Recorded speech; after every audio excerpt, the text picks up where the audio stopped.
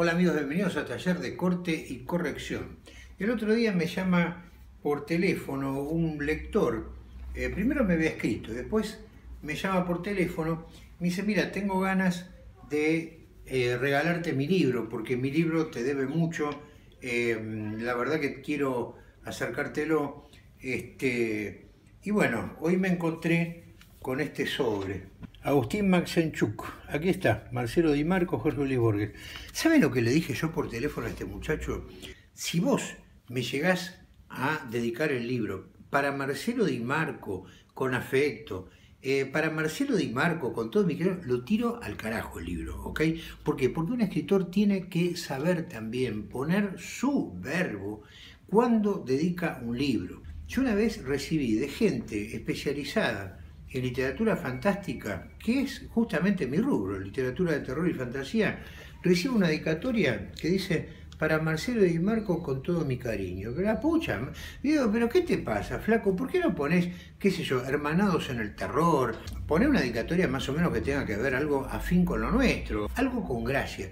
Como le decía, ustedes me pueden decir, pero Marcelo, cada cual es libre de dedicar como quiere no tanto libre. ¿Saben qué? Yo antes de libre soy responsable y tengo que hacer las cosas bien, porque, soy escritor y cuando escribo, ¿estoy escribiendo literatura cuando hago una dedicatoria? No, pero estoy mostrando mi alma en cada letra.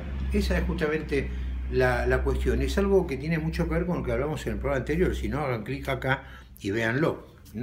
Vamos entonces a ver qué dedicatoria me puso este muchacho. Recién vamos a pelar nuestro fin golf de Cold y vamos a abrir el sobre a ver qué contiene. Estamos ahí. Bueno, acá parece que se viene con una mariposa. Esta es una, una mariposa de noche, una loctiruca por lo que se ve. Ahí estamos bien, vamos, empezamos bien. A ver ahora, Marcelo. ¡Apa! Bueno, esto ya está hablando muy bien de este chico, pero voy a guardar esto.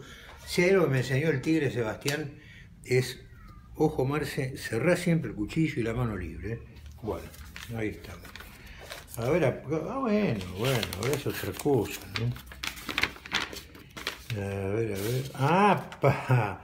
Pero esto viene quizá, claro, con razón estaba acá esta imagen. Ahí está.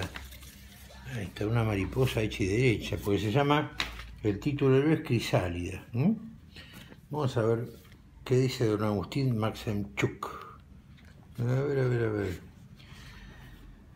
Para Marcelo Di Marco, espero que disfrute los cuentos que mi mente creó y la suya a la distancia en perfección.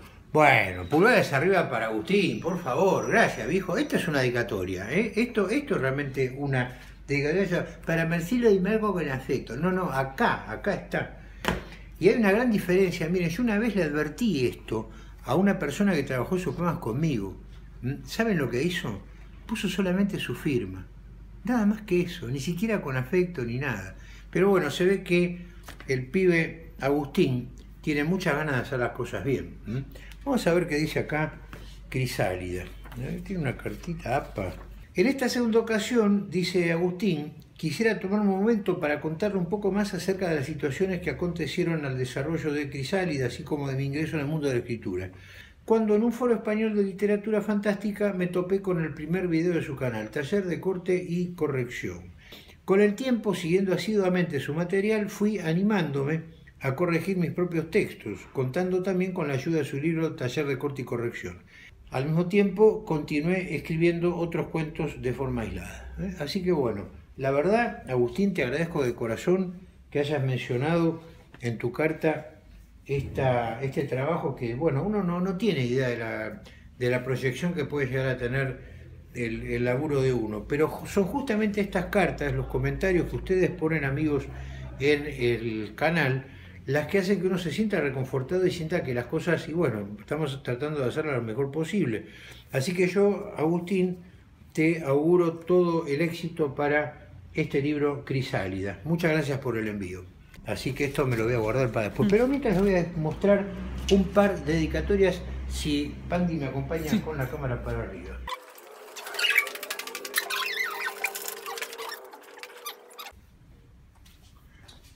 Bueno, miren esta dedicatoria. Dedicatoria Uno, la primera contra Vicente Batista, gran maestro de Marcelo Di Marco.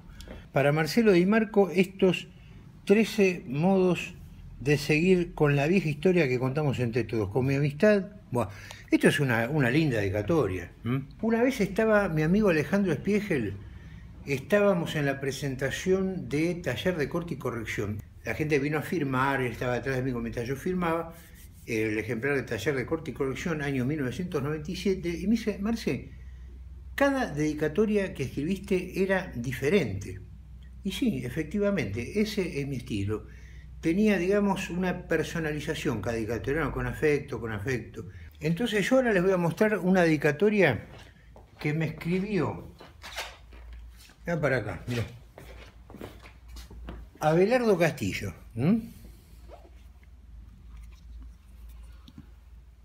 Para Marcelo Di Marco, único rival que reconozco en mi cariño y mi conocimiento de Poe con mi amistad y la del propio Edgar, Abelardo Castillo, y firmó con la firma de Edgar Allan Poe. A ver si lo puedo registrar la cámara, señora directora. Sí, genial. Ahí está.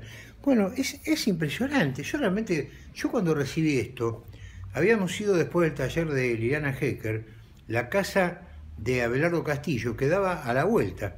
Y fuimos todos en patota con el taller y bueno, ese, ese día escuché por primera vez en un cassette escuché la versión de Basie Radburn del Cuervo, de Poe, y tuve ocasión de charlar amigablemente con Abelardo Castillo, nada menos, uno de mis autores favoritos. Y Abelardo tuvo la deferencia de mandarse esta obra fantástica, es una, obra basada en elementos biográficos de Allan Poe y Rafael, de mandarse una dedicatoria como esta. Hay otro autor que, vamos por acá, eh, Ernesto Sábato, El túnel.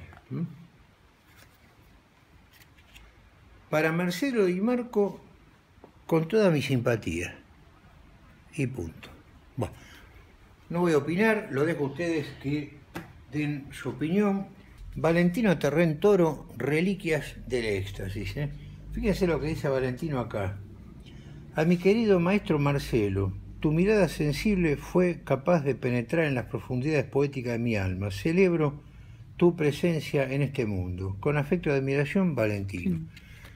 Muchachos, ¿qué quieren que les diga? Es, es realmente, digamos, sumamente reconfortante recibir devoluciones como esta. Este libro lo hemos trabajado juntos con, y acá también, con Valentino, y acá también Cristian Acevedo, pero Acevedo no lo hizo a mano, miren cómo lo hizo. Acercar la cámara acá.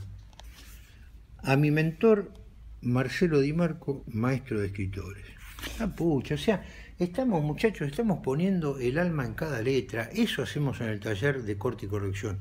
La moraleja de hoy, para que les quede, cuando ustedes tengan la gracia de publicar un libro de cuentos, un libro de poemas, y tienen ganas de dedicarlo, pero con todo el cariño, no, no como poner una firmita así simplemente y chao, un libro que va a pasar como pasa su dueño, como pasa su autor, digamos, intrascendentemente.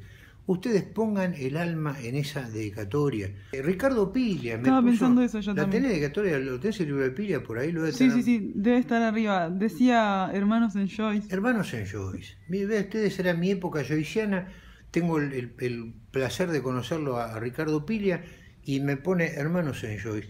Pero la pucha, o sea, algo distintivo, estamos dedicando algo, tenemos que poner todo nuestro esfuerzo afectivo e intelectual en esa dedicatoria. Así que esa es la idea. Un autor también se reconoce por lo que escribe fuera de su libro. Muchachos, si les gustó, pulgar arriba para Marcelo y Marco, dedíquenme eh, algún comentario y los dejo entonces con esto que es Canal Taller de Corte y Corrección. Hasta pronto.